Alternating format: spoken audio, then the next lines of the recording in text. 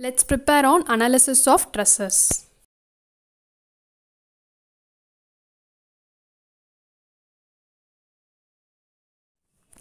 So in today's lecture we are going to see about the analysis of trusses. Okay. So before going into this analysis, first let us see the assumptions to be considered. Okay. Uh, because if we assume these things means only we can apply the methods for analyzing the truss. So I have just given a simple truss diagram here. So truss is nothing but it is the combination of various members together and mostly all the joints will be of pin jointed only. Okay. So here we will be calculating the forces in each member. So that is what called as the analysis of trusses. So first let us see the assumptions. The first point is all joints are ideally hinged. Okay. So it is pin jointed because we are assuming it is frictionless also okay? And then the self height of the truss is neglected. So if you assume the self height of that members means again the buckling or bending will be happen. So we want to calculate the shear force and bending moment also there because that also will come under the calculation. So to avoid all those things we are avoiding the self height of the truss also and the third step is third assumption is the individual members are straight. Okay so we are assuming all the members as straight members only. And then the loads act at joints only. So in all the problems if you see means the load will be acting at the joint or supports only. So in between it cannot act and then the members subjected to axial force only. So i already told no we are avoiding shear force and bending moment. So here we assume that it is subjected to only axial force. So it may be either compression or tension. So it varies according to the load we apply there. So the bending moment and shear force are neglected here so there are two methods to analyze the trusses okay? The first method is the method of joints and second method is the method of section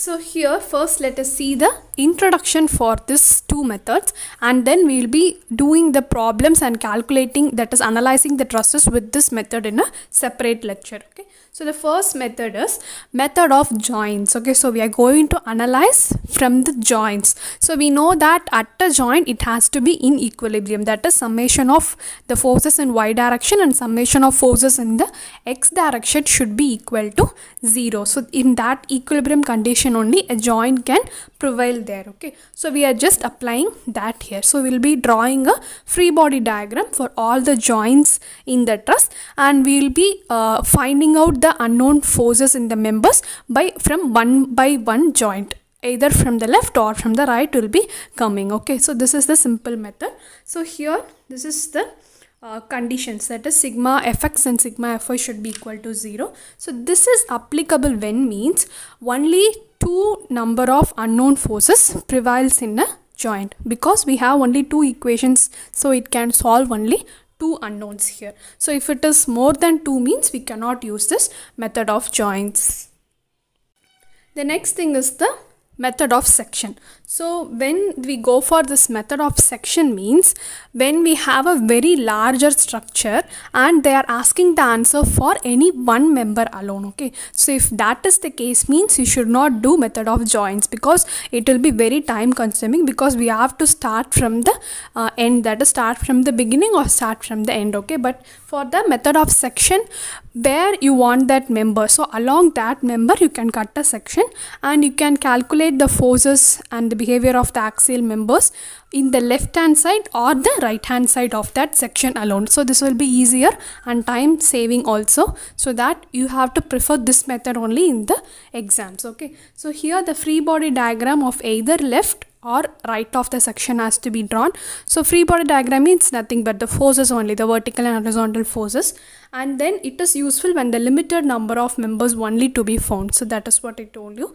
And then it is effective when means if it if there is not more than three members at a joint. Okay, so if there is more than three means you can't use this method also. Okay, so these are the introduction and limitations for this method of joints and method of sections. So before going into these uh, methods to analyze the truss, we should know some basic concepts. Okay, so that is the rule to find the zero member forces because if we know that rule and that technique means we can easily point out the zero force members so that it could be easy for us to proceed with the analysis of trusses. okay and also in some competitive exams they'll be just giving you the truss and they'll be asking you the zero force member to find also so we'll see that in the next lecture and after that we'll be seeing the detail about these two methods. Thank you and keep watching for the next lecture on zero force members